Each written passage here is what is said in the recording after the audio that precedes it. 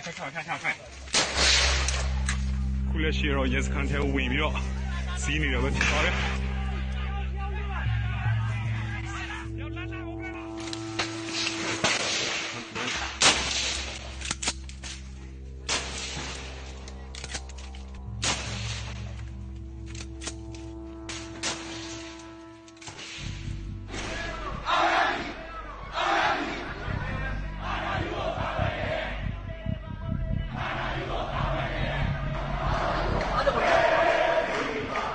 တယ်။ကျွန်တော်တို့ရဲ့တပ်ဖွဲ့ကိုအပေါ်ကတပ်မတော်တွေက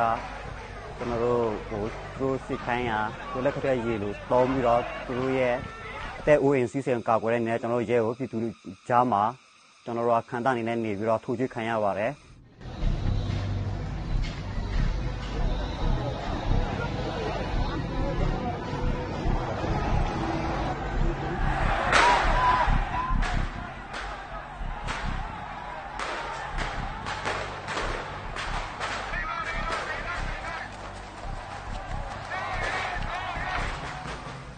ဘာဖြစ်ကျွန်တော်တို့ကတရားမျှတမှုလိုချင်လို့ရေတပ်ဖွဲ့ဝင်တဲ့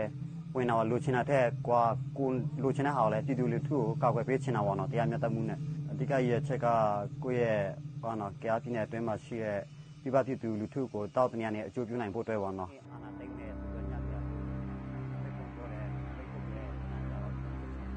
စိတ်မကောင်းဖြစ်မိပါတယ်စိတ်မကောင်းတာတဲ့ဘာဖြစ်ဆိုရင်ကိုကအများကြီးဒီမိုကရေစီပြေဝမရသေးပေမဲ့ဒီ9နှစ်တာကာလမှာ ကိုပြောဆိုနိုင်တာနည်းနည်းပပလူလာခွင့်ရှိလာတယ်။နောက်ကိုတယောက်ရဲ့လှုပ်ချုံမှုပေါ့နော်ပြည်သူလူထုကြားရဲ့လှုပ်ချုံမှုလည်း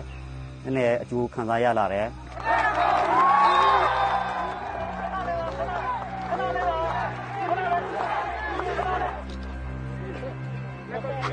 ။